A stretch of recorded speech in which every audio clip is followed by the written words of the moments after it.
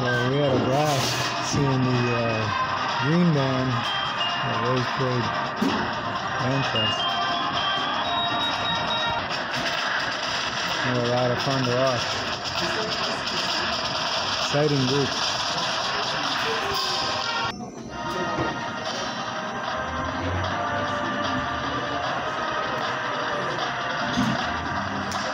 It'll be fun to see them in the parade.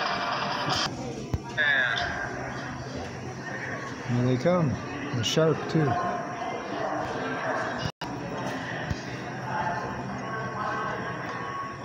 Rain, uh, cloudy day. It didn't rain though.